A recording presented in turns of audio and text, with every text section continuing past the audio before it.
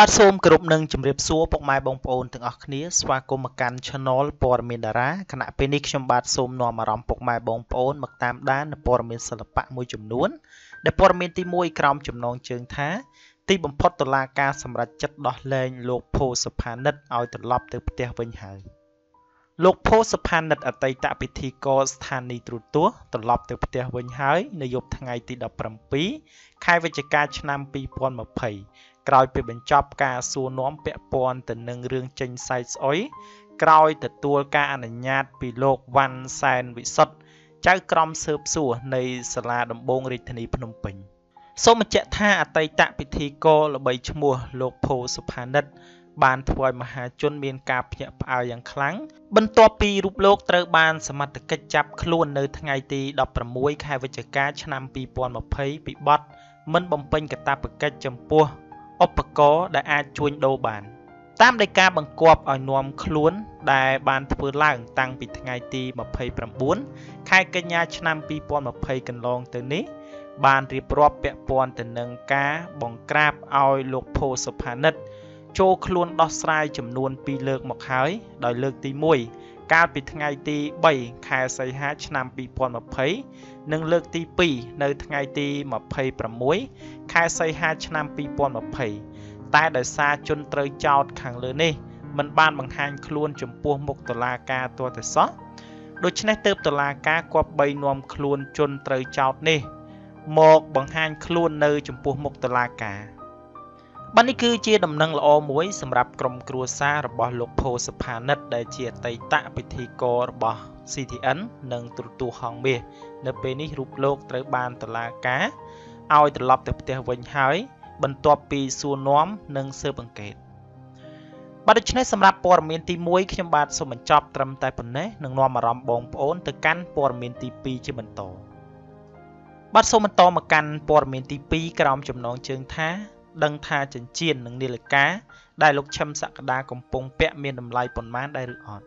តារាសម្ដែងនិងជាតារាចម្រៀងប្រចាំផលិតកម្មថោនលោកឈឹមសក្តាធ្លាប់បង្ហើបថារូបលោក បានបាត់ចំណូលច្រើនពីការងារសិល្បៈគិតចាប់ពីខែកុម្ភៈរហូតដល់ខែវិច្ឆិកា2020នេះក៏ប៉ុន្តែរូបលោកនៅតែមានលទ្ធភាពទិញគ្រឿងពេជ្រថ្លៃថ្លៃមកពាក់ តារាប្រុសរាងខ្ពស់ស្រឡះផ្ដើមចេញពីតារាម៉ូដែលរូបនេះបានងាកមកការងារសិល្បៈទៅធ្វើការនៅក្នុងហាងពេជ្រមួយ ដែលមានតួនាទីជាប្រធានផ្នែកលក់ហើយគេជឿជាក់ថាប្រាក់ខែរបស់លោកនៅទីនោះក៏មិនណយដែរទន្ទឹមនឹងគ្នានេះរូបលោកក៏មានប្រាក់ចំណូលមួយចំនួនទៀតដែរដូចជា លោកឈរជាទូតសុឆន្ទៈឲ្យផលិតផលថែរក្សាសម្រស់មួយ លោកឈឹមសក្តាបានប្រាប់សបាយកាលពីពេលថ្មីថ្មីកន្លងទៅថាចិញ្ចៀនដាំពេជ្រដែលរូបលោកកំពុងតែពាក់នេះមានតម្លៃជាង5000ដុល្លាររីឯនាឡិកាដាំពេជ្រម៉ាក Patek Philippe គឺមានតម្លៃជាង10000ដុល្លារដូច្នេះគ្រឿងអលង្ការនៅជាប់ខ្លួនរបស់លោកគឺមានតម្លៃរហូតទៅដល់ជិត20000ដុល្លារឯណោះតារាសម្ដែងលោកឈឹមសក្តាដែលជាគូស្នេហ៍យ៉ាងស្និទ្ធស្នាលរបស់តារាចម្រៀងពេជ្រសុភា ត្រូវបានគេសង្ស័យថារូបលោកអាចមានប្រភពប្រាក់ចំណូលពិសេសដោយមាននារីណាម្នាក់ជួយទំនប់បំរុងបន្ថែមលើចំណូលសិល្បៈនិងក្រៅសិល្បៈក៏ប៉ុន្តែរូបលោកមិនទាន់ស្រាយចម្ងល់របស់អ្នកគាំទ្រនៅឡើយទេ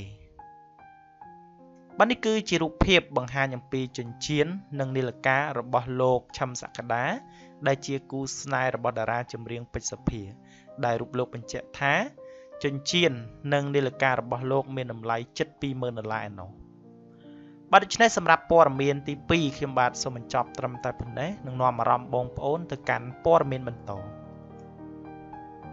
បាទសូមបន្តមកកាន់ព័ត៌មានទី3ក្រោមចំណងជើងថាអ្នកនាងឈិនសុធារី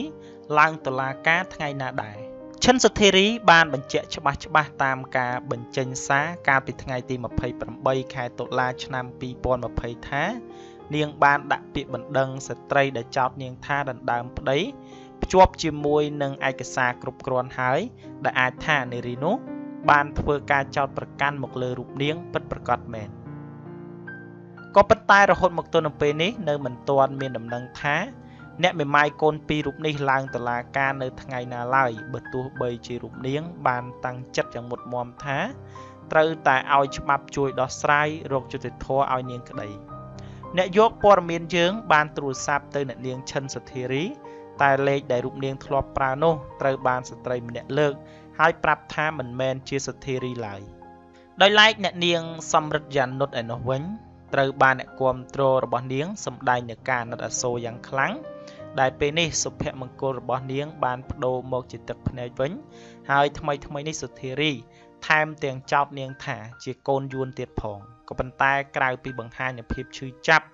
ស៊ូខំមាត់សង្កត់ចិត្តតែម្នាក់ឯងនោះអ្នកនាងសំរិទ្ធចានុតបាននិយាយតបអ្នកចូលខមមិនវិញយ៉ាងខ្លីថារឿងមួយនេះនាងប្រគល់ឲ្យច្បាប់ដោះស្រាយមជ្ឈដ្ឋានមហាជនបានលើកឡើងថាឈិនសុធារីនៅពេលនេះបាក់មុខខ្លាំង ព្រោះត្រូវបានគេចោទថាមានសហាយស្មន់ជាមួយប្តីគេ តែសុធារីនៅតែប្រកាន់ជំហរតតាំងរឿងក្តីមួយនេះនៅតុលាការដោយគ្មានការតក់ស្លុតឡើយចំណែកឯលោកកៅពិសិដ្ឋវិញមុននេះបានចេញមុខសុំទោសអ្នកនាងឈិនសុធារី ដែលរឿងរ៉ាវរបស់លោកធ្វើឲ្យប៉ះពាល់ដល់អតីតតារាសម្ដែងរូបនេះក៏ប៉ុន្តែសុធារី នៅតែរក្សាជំហរប្តឹងភាគីប្រពន្ធដើមទៅតុលាការដដែលឈិនសុធារី បានផ្អាកអាជីពសិល្បៈច្រើនឆ្នាំក្រោយពេលរូបនាងរៀបការជាមួយលោកសវណ្ណមករាក្រោយពេលបានកូនស្រីភ្លោះជាចំណងដៃនេះក៏បានដើរដល់ផ្លូវបំបែកនាងធ្លាប់តែជាពិធីការនីម្នាក់ដ៏គួរឲ្យចាប់អារម្មណ៍ក៏ប៉ុន្តែរយៈពេលចុងក្រោយនេះបានប៉ះពាល់រឿងរ៉ាវស្នេហាដ៏ចម្រូងចម្រាសជាមួយនឹងលោកងួនវ៉ារី ហើយស្រាប់តែចុងក្រោយត្រូវបានគេចោទថានាងមានស្នេហាជាមួយប្តីគេទៀត ទើបធ្វើឲ្យគេឈ្មោះរបស់សុធារីកាន់តែពិបាកស្ដារមុខមាត់ឡើងវិញទោះជាយ៉ាងណាទស្សនិកជនរងចាំមើលថាសាវនាកានៅសាលាដំបងរាជធានីភ្នំពេញនាពេលខាងមុខនេះតើឈិនសុធារីអាចទៅរួចទេ ដែលថារូបនាងនឹងឈ្នះក្តីប្រពន្ធដើមបើនៅពេលនេះគឺច្បាស់ហើយថាសុធារីនិងសំរិទ្ធចានុតនៅតែបន្តប្តឹងគ្នាទៅវិញទៅមកពាក់ព័ន្ធទៅនឹង បញ្ហាដែលបានកើតឡើងកន្លងមក ដោយភាគីប្រពន្ធដើមបានចោទសុធារីថាដណ្ដើមប្តីរបស់គេ ចំណែកឯសុធារី បានលើកឡើងថាការចោទប្រកាន់ទាំងនេះគឺធ្វើឲ្យខូចគេឈ្មោះរបស់នាង ទាំងដែលរឿងមិនបានកើតឡើងពិតប្រាកដផងបើយើងនឹងចាំមើលថាតើនៅពេលឡើងតុលាការតើភាគីខាងណា ជាអ្នកទទួលបាននឹងការឈ្នះក្តីនេះ បាទសម្រាប់ព័ត៌មានទី3ខ្ញុំបាទសូមបញ្ចប់ត្រឹមតែប៉ុណ្ណេះនឹងនាំអារម្មណ៍បងប្អូនទៅកាន់ព័ត៌មានបន្តបាទសូមបន្តមកកាន់ព័ត៌មានទី4ក្រោមចំណងជើងថាក្រោយពេលមានស្វាមីនិងមានកូន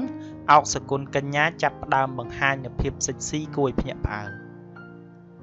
កម្ពុជាតារាចម្រៀងស្រីដ៏ល្បីល្បាញអោកសគុណកញ្ញា ដែលនៅពេលកន្លងមកតែងតែត្រូវបានទស្សនិកជន ដឹងក្នុងចិត្តជានិច្ចថា នាងជាកម្ពូតារាដែលនិយមស្លៀកពាក់សុភាពសុភាពចិត្តចិត្តពេលនេះបានផ្លាស់ប្ដូរមកជាសិចស៊ីហ៊ានស្លៀកពាក់ឈុតប៊ីគីនី បង្អួតដងខ្លួនសឡូនសឡូន បង្ហាញដល់សាធារណជនបន្តិចម្ដងបន្តិចម្ដងហើយតួយ៉ាងនៅក្នុងកណនីភេកផ្លូវការរបស់កម្ពុជាតារាចម្រៀងស្រីរូបនេះ បានបង្ហោះរូបថតថ្មីថ្មីជាច្រើនសន្លឹកដែលរូបនាងបានស្លៀកឈុតប៊ីគីនីរំលេចសម្រស់យ៉ាងទាក់ទាញបំផុតក្នុងនោះអោកសគុណកញ្ញាថែមទាំងរៀបរាប់នៅពាក្យពេចន៍បែបត្រាម៉ាយ៉ាងដូចនេះថាព្រោះតែរឹងមាំពេកទើបគេមិនខ្វល់ពីសុខទុក្ខរបស់យើង មិនឃើញសំបីតែទឹកភ្នែកយើងយំម្ដងហើយឥឡូវសុំយំម្ដងទៀតឲ្យគេឃើញ ថ្មីត្បិតតែរូបភាពសិចស៊ីទាំងនេះជាការសម្ដែងនៅក្នុង MV បទចម្រៀងក៏ពិតមែនក៏ប៉ុន្តែមួយរយៈចុងក្រោយនេះពលគឺចាប់តាំងតែពីអោកសគុណកញ្ញារៀបការស្វាមីនឹងមានកូនប្រុសម្នាក់មក មហាជនមើលឃើញថា តារាស្រីរូបនេះកាន់តែបង្ហាញនូវភាពសិចស៊ីបញ្ចេញនូវសាច់សខ្ចីខុសប្លែកកាលដែលរូបនាងមិនទាន់រៀបការឆ្ងាយណាស់ គួររំលឹកផងដែរថាអោកសគុណកញ្ញា និងលោកអឹងសុកលី មានទំនាក់ទំនងស្នេហាជាមួយគ្នារយៈពេលប្រមាណ9ឆ្នាំទម្រាំនឹងដាច់ចិត្តរៀបការជាមួយគ្នាហើយនៅពេលនេះពួកគេទាំងពីរនាក់ទទួលបានកូនប្រុសម្នាក់ដែលមានឈ្មោះថាអឹងបញ្ញបុត្រហៅឆាលីរហូតមកទល់នឹងពេលនេះផងដែរអោកសគុណកញ្ញាក៏ទទួលបានការងារសិល្បៈឡើងវិញ ចំណែកឯការថែរក្សារូបសម្រស់របស់នាង នៅតែខ្ញង់ដដែលទើបធ្វើឲ្យតារាកូនមួយរូបនេះ ហ៊ានបង្ហាញនូវភាពសិចស៊ីដល់ទស្សនិកជនឲ្យបានឃើញបាទដូច្នេះសម្រាប់ព័ត៌មានទី4ខ្ញុំបាទសូមបញ្ចប់ត្រឹមតែប៉ុណ្ណេះសូមអរគុណ